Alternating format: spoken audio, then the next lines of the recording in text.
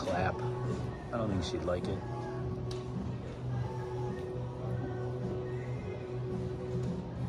Bring it hard. Oh,